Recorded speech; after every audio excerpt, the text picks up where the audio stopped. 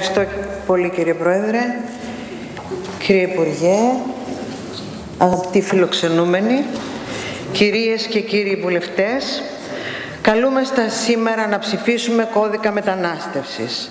Καλούμαστε τώρα να διαμορφώσουμε μεταναστευτική πολιτική. Τραγική ηρωνία.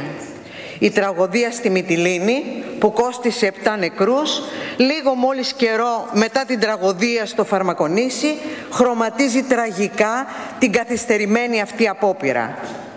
Αλλά πώς θα μπορούσαμε να έχουμε αποκτήσει μεταναστευτική πολιτική όταν το ζήτημα αντιμετωπίζεται με τόση φοβικότητα, με τόση δημαγωγία, με τόση κολακία στα συντηρητικότερα αντανακλαστικά της ελληνικής κοινωνίας. Το μεταναστευτικό έχει κυριαρχήσει στην πολιτική τα τελευταία χρόνια. Ζούμε σε μια χώρα που αποτελεί το γεωγραφικό σύνορο της Ευρωπαϊκής Ένωσης με την Ανατολή. Ζούμε επίσης μια ιστορικής κλίμακας μετακίνηση πληθυσμών. Όχι επειδή οι ίδιοι άνθρωποι το επέλεξαν. Ποιος επιλέγει άραγε να εγκαταλείψει τη χώρα του, την αιστεία του, τους προσφυλείς του ανθρώπους, αλλά επειδή εξαναγκάστηκαν. Και αντί να προσπαθήσουμε ως Ευρωπαϊκή Ένωση ε, μιας και η χώρα μας ασκεί την προεδρία της αυτό τον καιρό, αντί να προσπαθήσουμε, λέω, ως Ευρωπαϊκή Ένωση να δώσουμε συνολική λύση στο πρόβλημα, είμαστε στο δυσάρεστο σημείο παρά τους νεκρούς, παρά τις ρατσιστικές επιθέσεις, παρά την εξαθλίωση που αντιμετωπίζουν τόσο οι συμπολίτες μας όσο και οι ξένοι, να έχουμε μια κυβέρνηση που δεν σταματά να επενδύει στην ξενοφοβία. Τόσα χρόνια προσπαθήσετε να μας πείσετε πως οι μετανάστες ευθύνονται περίπου για όλα τα δεινά που μας έχουν βρει, για τα χαμηλά μεροκάματα, για την πτώση του βιωτικού επίπεδου, για την κατάρρευση του κοινωνικού κράτους, για την εγκληματικότητα κλπ. κλπ, κλπ. Απέκτησε η χώρα τον εσωτερικό της εχθρό, το δικό της Εβραίο που τόσο είχε ανάγκη στην εποχή της κρίσης και ο ταπεινωμένος Έλληνας μια ψευδέστηση δίθεν ανωτερότητα ενότητας έναντι των άλλων, των ξένων. Ποιος δεν θυμάται άραγε τον ίδιο τον Πρωθυπουργό να καλήσει ανακατάληψη των πόλεων. Αντιμετωπίζατε και αντιμετωπίζετε ακόμη τους μετανάστες και τους πρόσφυγες σαν εισβολής. Το ξανακούσαμε πάλι και πάλι, χθες και προχθές, σε αυτήν εδώ την αίθουσα. Βλέπατε, όλοι βλέπαμε τα τάγματα εφόδου να εφαρμόζουν στην πράξη την ανακατάληψη των πόλεων και φυσικά δρανούσατε κατά ένα τρόπο συνηγορώντας. Ήταν και είναι χρήσιμη για σας η ξενοφοβία. Σας χρειάζεται για να χτυπήσετε το ΣΥΡΙΖΑ με τις γνωστές μοντα... μονταζιέρες σας. Ένα ΣΥΡΙΖΑ που δεν λέει τίποτα άλλο από το προφανές και το αυτονόητο. Ότι οι μετανάστες που έχουν αναπτύξει δεσμούς με τη χώρα πρέπει να βρίσκονται στο φως, να απολαμβάνουν δικαιώματα, να υπάρχουν δηλαδή ως άνθρωποι. Ξεχνάτε κυρίες και κύριοι βουλευτές ότι η Ελλάδα είναι χώρα μεταναστών. Εμείς που βλέπουμε τα παιδιά μας να μεταναστεύουν εξαιτίας της οικονομικής κρίσης.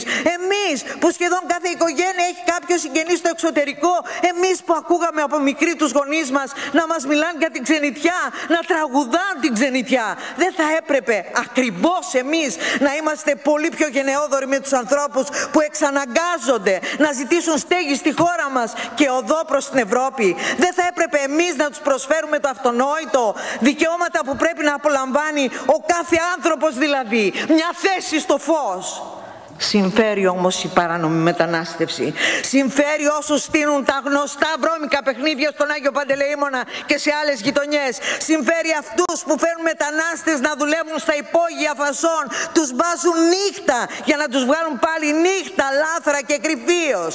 Συμφέρει επίσης όσους φλερτάρουν με μια ακροδεξιά, με ακροδεξιά ακροατήρια. Συμφέρει τέλος επαγγελματικές ομάδες που σιτίζονται από τη δυστυχία των άλλων των μισητών ξένων. Η πολιτική που προτείνουμε είναι όχι μόνο ανθρωπιστική αλλά και επωφελής. Είναι πολλά τα πλεονεκτήματα από μια πολιτική νομιμοποίησης ανθρώπων που έχουν αποκτήσει δεσμούς με την Ελλάδα. Το γνωρίζετε πολύ καλά ότι η εξαθλίωση γεννά περισσότερη εξαθλίωση. Η παρανομία, η ζωή στο σκοτάδι, τα γκέτο είναι που γεννούν την εγκληματικότητα. Γνωρίζετε επίσης ότι η ένταξη, η ενσωμάτωση θα αποφορτήσουν τις γειτονιές και θα δώσουν υπόσταση στους ανθρώπους. Μια νόμιμη ζωή είναι ο δρόμος για τον περιορισμό περιορισμό της παρανομίας και της εγκληματικότητας. Και μιας και μιλάμε για εγκληματικότητα, συνιστούν άραγε για σας εγκληματικότητα τα πάμπολα περιστατικά βίας ενάντια σε μετανάστες από την αστυνομία, το λιμενικό και άλλα κρατικά όργανα. Μάλλον όχι, αν κρίνουμε από την προστίκη αναδιατύπωση που μας φέρατε χθες. Χαιρόμαστε που σήμερα την πήρατε πίσω. Μακάρι όμως να φροντίσετε ώστε αυτοί που καταγγέλουν να έχουν προστασία εξ αρχής. Γιατί, γιατί κύριε Υπουργέ, γιατί αγαπητοί συνάδελφοι, γιατί αυτή η αλακάρτ χρήση της Ευρώπης Προφανώς η χρήση του φανατικού ευρωπαϊσμού δεν μας ωφελεί κάθε στιγμή.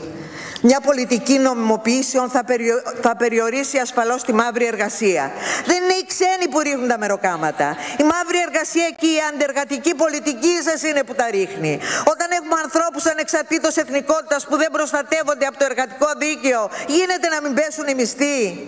Κύριοι, με τις πολιτικές σας συμβάλλατε στην οικοδόμηση μιας Ευρώπης όπου τα σύνορα είναι ανοιχτά για τη μετακίνηση κεφαλαίων, ανοιχτά για την κερδοσκοπία, ανοιχτά για μια επιχειρηματικότητα που μόνο υγιής δεν αποδείχτηκε, ανοιχτά για την εγκληματικότητα, αλλά είναι κλειστά για ανθρώπους που καταφεύγουν σε αυτή για να γλιτώσουν από πολέμους, χούντες, διαλυμένες οικονομίες και οικολογικές καταστροφές, όπου η ρίστο εμπαρόδο, ο πολιτισμένος κόσμος έχει βάλει για τα καλά το χεράκι του.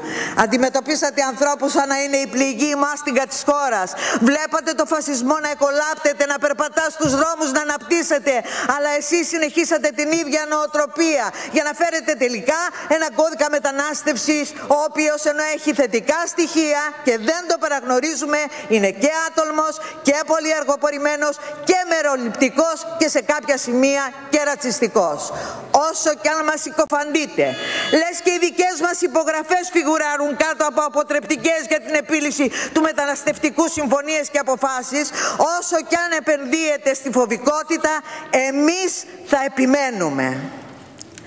Ζώσει καθομάδας και έχουν συγκινεί την τράπεζα εις τας πόλεις ενοικιάζουν 15 εργάτε εν διαμέρισμα εις μίαν πενιχράν οικίαν όπου μαγειρεύουν των φαγητών των εκπεριτροπής. Εις τας γραμμάς οι εργάτε έχουν ως κατοικία των τα παλαιά βαγόνια ή ξύλινας καλύβας κατασκευαζομένας σε επίτηδες δι' αυτούς εις τα εργατικά στρατόπεδα. Από την εφημερίδα Ατλαντής Έλληνες μετανάστες στις Ηνωμένες Πολιτείες Αμερικής Απρίλιος 1912 αυτοί είμαστε κύριε συνάδελφοι. Αυτό είναι το σκοτεινό, το αποσιοποιημένο παρελθόν του περιούσιου λαού μας.